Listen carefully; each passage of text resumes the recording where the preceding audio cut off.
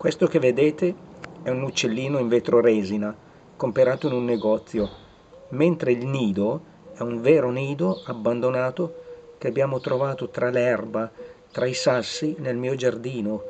E allora ho pensato a questo particolare risultato, molto bello da vedere. Ciao a tutti!